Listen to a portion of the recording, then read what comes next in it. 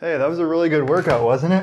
Yeah. Uh, Woo! Just gonna fuel my body with some protein, a little chicken thighs here. We got a lot of butter on there. It's really good. The skin's on and everything. I'm ready to dig in. This is gonna fuel my body.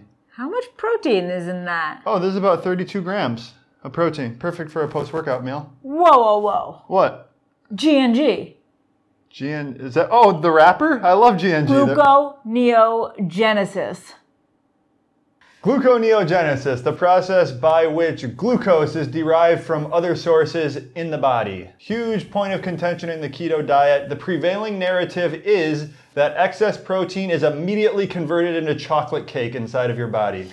Small intestine. Small intestine? Oh, Yeah. it's small intestine. Yeah. But on a serious note, we actually did a ton of research on this topic. We want to fully understand this because it seems like no one really understands it. I just wanted to kind of like go through all the current data and kind of draw my own conclusions from it and see what I think and apply it to my diet moving forward. We, but yes, him. We. Him also. Just me. So this definitely falls into the category of a little bit of information can be harmful because it seems like everyone has this little bit of information, excess protein, no one defines excess, is converted into glucose, sugar. Gluconeogenesis is pretty much constantly happening in your body whether you like it or not. And when you're in a state of ketosis by nature, gluconeogenesis is occurring because your brain needs a little bit of glucose to run every day. So if you're not giving it that through diet, Right. it creates that on its own. So you want gluconeogenesis to be happening. Otherwise, you would only be having like 60% of brain activity right now on a keto diet. Which seems like a lot of people are. Just kidding. Good one. Because your brain can only actually run between 50 to 75% purely on ketones. So it needs some other fuel source. Right. So a lot of people who are doing no carb diets or lazy keto, where you're not eating a ton of vegetables or getting carbs through sor- some sources, this process is occurring and you want it to occur. Key takeaway gluconeogenesis occurs on a need basis, not on a supply basis. So if your body needs glucose for whatever reason, it makes it. If your body has a ton of excess protein, it doesn't just combust into glucose inside your body. There's no s- supply doesn't matter that much. If you're Right. giving it a ton of excess protein, it doesn't mean the rate at which gluconeogenesis occurs in your body Increases. increases. The rate is actually relatively fixed. The rate of gluconeogenesis slightly increases on a keto diet, about 14% increase. And that, that makes sense. Yeah, because obviously your brain needs some glucose. Right. And you're depleting your body of a lot of carbs. So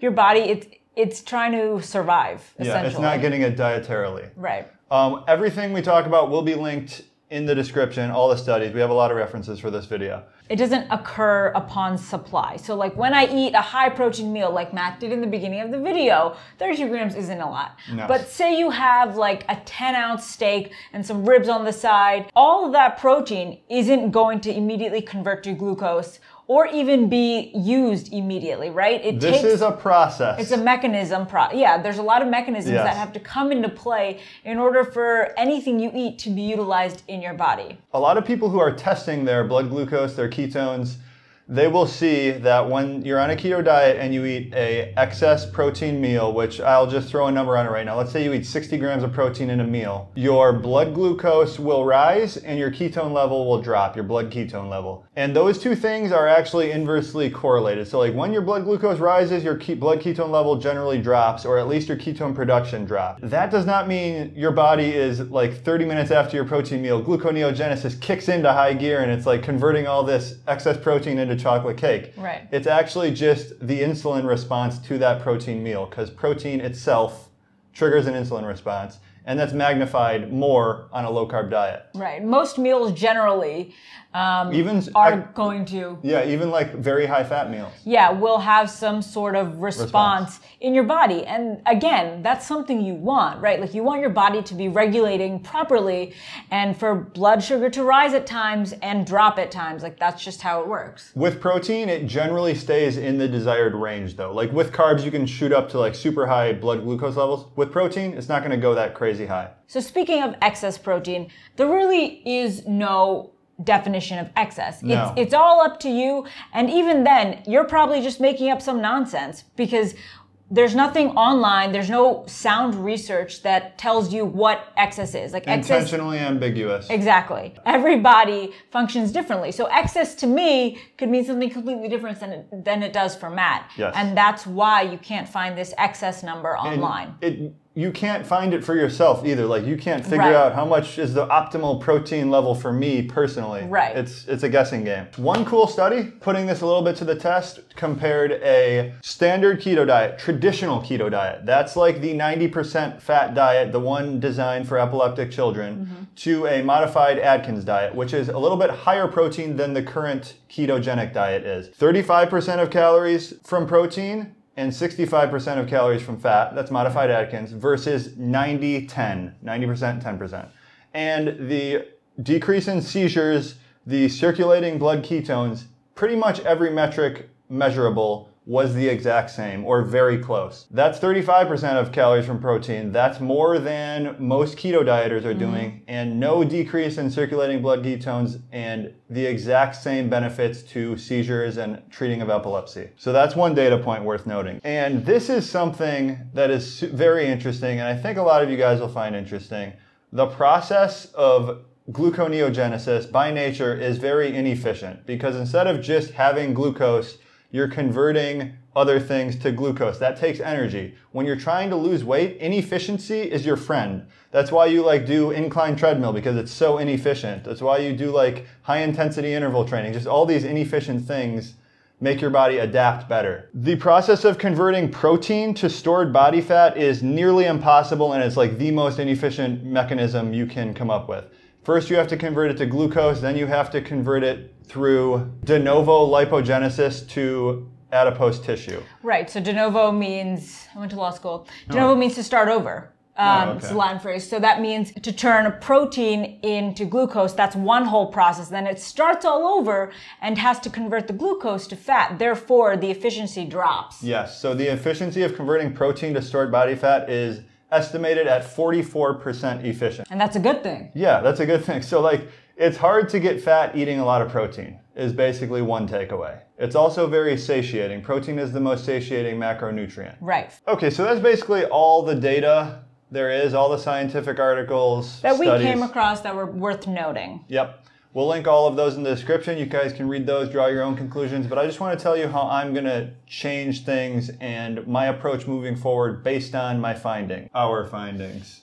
Based on He our doesn't findings. even think about me. My first conclusion is most people on a keto diet are low on protein, too low. Because we have a meal prep course, people email us with their macros and stuff, and a lot of times I see like, you know, a 180 pound woman eating 70 grams of protein a day. That's too low. And I think protein is only a problem in pretty extreme excess. What is extreme excess, I guess? And no one anywhere will define this. It's just tough to find like real accurate It's not measurable. yeah, I guess it's not measurable, but no one's like done studies on like testing different protein intakes and like So it's just if- a buzzword, really. Right. So if you have like three steaks one day, you can't just chalk it up to, oh, excess. If I gain weight tomorrow, it's gluconeogenesis. Like you can't just do that. No. My thinking, and this is just me throwing a number on things based on reading, based on research, and based on just getting a feel for my own Take body. Take a whole grain of salt with this. Big grain, pink Himalayan. What I'm comfortable eating is like between 1.2 and 1.5 grams of protein per pound of lean body mass on the extreme high end. That's as high as I would go. For me, I'm about 175 pounds of lean body mass. So that would be on the peak high end about 250 grams of protein a day. And that's really pushing it, but I don't think you're gonna see much impact on ketosis on your keto diet if you go real high protein like that. I've done it before. I've gone like consistently 225 grams of protein for about two weeks, three weeks. My takeaways from it are I just don't feel as good, don't feel as energized, don't feel as focused. That's just me. That's my experience with it. Yeah, I, I went really high for about three weeks, four weeks. I felt really full. I didn't like look bloated. Like I didn't, there was no like physical difference in like weight gain or the way I looked from eating like a high protein. So I was higher protein than I was fat, but there still wasn't like a big, you know, weight increase or anything. So that just goes to show for my body at least that high protein is fine on a keto diet. But that's not to say it's it's okay for you. Everyone differs very very much so. So, you know, take what we say with a grain of salt, maybe figure out what works for you and, you know, also you don't have to eat high protein every day, but if you do it once in a while, it's not that big of a deal. Not at all. You know, this isn't as big of a concern where you should be deciding how many meals a day you eat based on the protein intake per meal. Yeah, in my, my opinion. My biggest takeaway from all this is this literally doesn't matter at all. You don't need to you don't even need to think about it whatsoever. Keep your grams of carbs under 20 net grams. That's it. Like that's literally the only thing that matters. You don't need to concern yourself with gluconeogenesis at all. It's just that everyone does concern themselves with it, so we felt the need to make this video, but it doesn't matter you don't need to worry about it. Yeah. It's not impacting your diet at all. And the last thing I want to say is when you look at studies like this, you have to take into consideration the amount of people, how long the study was done, how long ago was the study? Is it recent? Is it really, really old? And like who are the types of people that are in the study? You can easily conclude whether or not it's indicative of a large sample size. So like all the studies that are recent, that's great that they're recent, but they're 11 people, 20 people, you know, everyone in a normal BMI range. Like you're not going to necessarily fit mm-hmm. into this category. When we started researching for this video, we obviously were looking for someone just being like, yeah, it's uh, 1.2 grams per pound of lean body mass. That's the cutoff. There you go. Just apply yeah. that. That doesn't exist. You just have to figure things out for yourself. What yeah. works best for your body. My thinking right now is most people doing keto are too low on protein because everyone stresses the moderate protein. I don't know why that is because I think I honestly don't know why. I think it's because like Atkins diet just has like a bad rap even though it was super effective and it was high protein. So now we're like, no, no, it's not Atkins. It's not high protein. It's moderate protein. Yeah. And it's just dumb. Like I think high protein keto is fine. I feel better when I'm more moderate. Same. So it's, it's experimental again. That's okay. it, guys. That's gluconeogenesis. You down with GNG? Yeah, you know me.